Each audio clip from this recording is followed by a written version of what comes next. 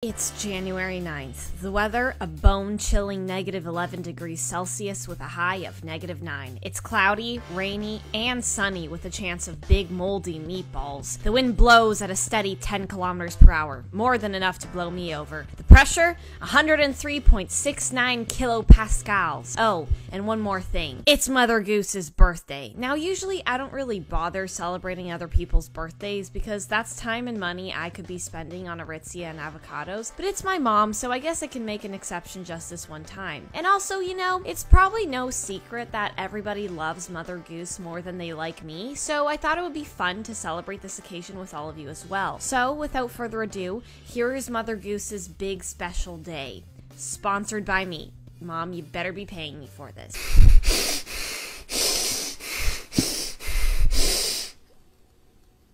Houston, we have a problem. It's January 9th, and I want to throw Mother Goose the worst birthday party of all time. Now, when I think of birthday, I think of many things. First of which is the cake. Now, like me, Mother Goose has a very big sweet tooth, which means that she'll go for anything sweet, and that bodes well for me because I'm pretty sure we've all been privy to my baking skills, and because I was the one who put myself in charge of all of this business, I've made the executive decision that Mother Goose wants an avocado cake. Now, I'm using the same recipe for avocado cake that I used on my 18th birthday, and that ended up going horribly wrong. So hopefully it works better this time because I don't want to serve a cake that tastes like actual butthole. Anyways, so we're gonna go get the ingredients now. So we've got quite a couple things to pick up today, and part of the reason is because my mom is turning 56, and you best believe that I want 56 candles on my cake. So I'm gonna need a lot of cake real estate for all of my I mean, don't get me wrong, we're already stock full of avocados at home, but let's be honest here. What's the problem with four more? So, did you guys hear Justin Bieber's new song? You know, I'm not gonna hate on the guy but I'm also gonna hate on the guy. The song is hot garbage, and it makes me so uncomfortable. Does it make anyone else like excessively uncomfortable too? This is a birthday video. Why am I talking about Justin Bieber? Okay, so I've had no luck in finding poppy seeds, like none at all, zero, zilch, nada. So I'm gonna use chia seeds. It soon became clear to me that I was in a domain not of my own, and as much as I wanted to convince myself that I was going in the right direction, I was still just a bumbling idiot in the baking section. What? Is this even edible? How is sparkles edible? Hello everybody. So my mom is out running errands right now, which is excellent because that gives me full reign to burn down the house. So now we're gonna bake the cake. What's a party without a cake? You gotta have those carbs. So yeah, let's begin. So I really don't have much time here, so we're gonna really have to work things out pretty quickly here, if you know what I mean, my dudes. Where's my food processor?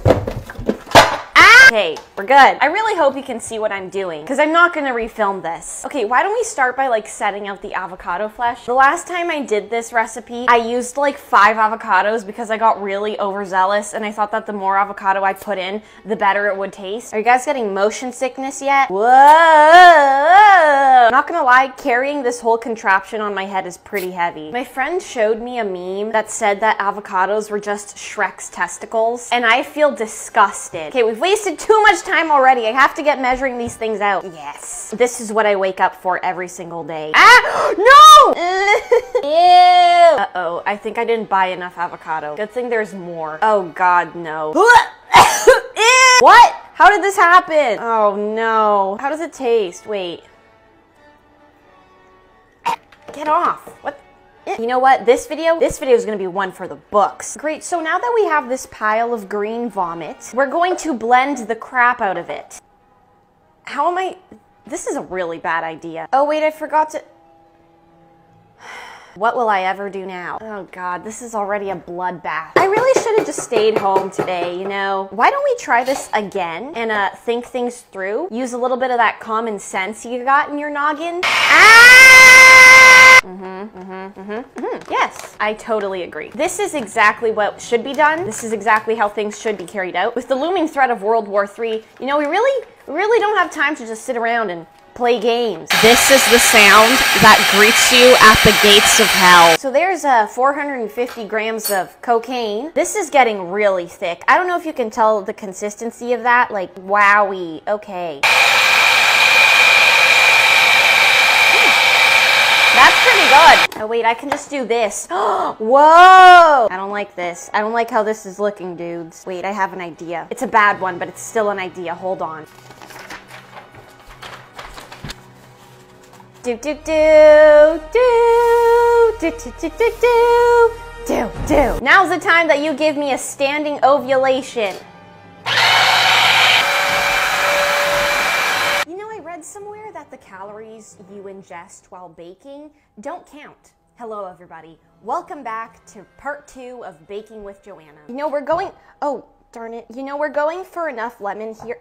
How does that happen again? The oven has literally been preheating for like the past hour. I'm really sorry for the gas bill this month, mom and dad. So I started watching The Witcher on Netflix. I'm four episodes in, and I've never been more confused. Where am I going with this? Ew, ew, Ew. I'm taking this off. I'm sorry. I need a break from you people. So thankfully, for both my sanity and yours, the only thing left to do now is add six eggs. This also marks the point where I can no longer eat the batter raw. Can you tell that I'm exhausted by this? Can you tell that I want to go to bed? even though it's only 4 p.m. How many eggs have I cracked already? I've lost count. You know what could make this worse? If I deleted the footage. Well, dinner served. So now we only have baking powder and baking soda and poppy seeds. Who's gonna eat all this after? Who am I kidding? I'm probably gonna finish this in like one night. The one thing I've uh, realized ever since I started university is that I can never underestimate the amount of food I am capable of eating. Before you know it, I've eaten my entire pantry and I don't even have a pantry. So remember how I said that I needed as much cake real estate as possible? So I went out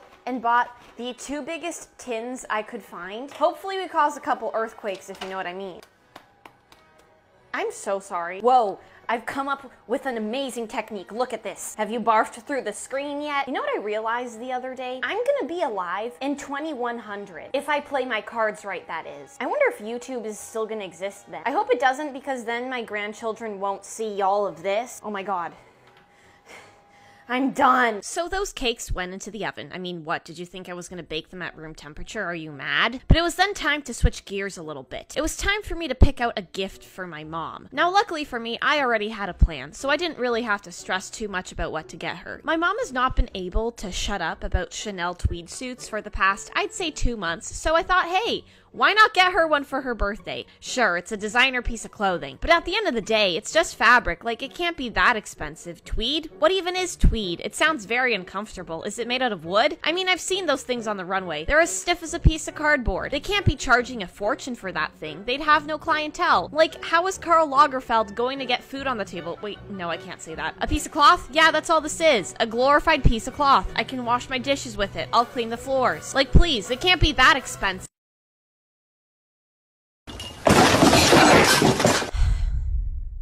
Okay, fine. Maybe we'll sit out on the whole Chanel tweed suit thing. So what? People are dying of hunger. Grow up. But you know what I can do without dropping $12,000 on something that will probably be worn once? I can decorate the crap out of our house. So one of my favorite TV shows of all time is The Office, and you probably already know where I'm going with this, but remember that episode where Jim and Dwight are in charge of organizing Kelly's birthday party and they throw up some balloons that match the carpet and wood and an it is your birthday sign? Well, I took a page out of that book and decided to do the same for my mom's birthday party. Now, Party City didn't have brown balloons, so I had to settle for black, gray, and gold ones, but it still got the message across. The goal was to make them look as droopy as possible, so I wasn't really allowed to fill them up with helium because that would make the event less depressing. So I was forced to use my own lung power. Yeah, 15 balloons in and I was starting to see stars. The only casualties experienced during this event were my nails. Those things need urgent care and several plastic surgery procedures to get them back in shape. Now for the sign, hey, crucify me, I dare you, but my printer was out to lunch on that day, so I had to do my bootleg It Is Your Birthday sign by myself. Did it look pathetic? Maybe, but it got the job did, so sue me.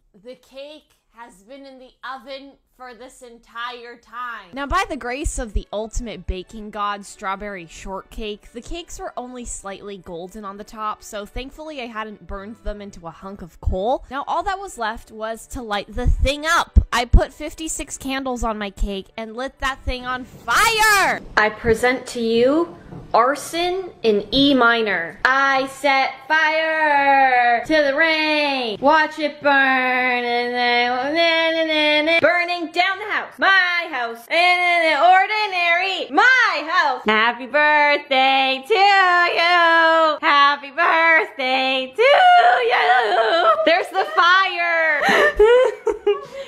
yeah, good luck blowing that out. Yay! It was time we feast. It was just past 8 p.m., and we still had room for dessert. I mean, there's always room for dessert, it fills in the cracks. Now, it is with great sadness and guilt that my parents and I report that the cake. It was hard to get down. Two bites in, we were nauseous with what I'm gonna call sugar poisoning. How did this happen? Well, Here's the story of how Joana got lost in the icing, a story in three parts. Once upon a time, the oven was on. It was a lovely winter evening. There were people in the house. The pig timer screamed. It was time to take the cake out of the oven. The baker, she was famished and ready to eat, but she had to make the icing first. The recipe called for one cup of low fat cream cheese and three cups of icing sugar. Exactly the type of thing that will not clog your arteries like a shower drain full of hair. To mixing she got. It was looking great, and the cake was even better. The plan was to flip one on top of the other and smother everything in icing. So that's what she did. However, there was a monster lurking in the shadows. She forgot to add one cup of almond milk. It was supposed to dilute the mixture and make it taste like you weren't overdosing on sugar with every bite. The baker didn't realize that though and kept on spreading that crap all over the cake. Oh god, the horror. Jesus Christ, it was a bloodbath. The thing was a grotesque monstrosity. She served it to her prisoners later that evening, and to her dismay, they weren't able to get it down. She was irate. How dare her disrespect her in such a manner? It was preposterous.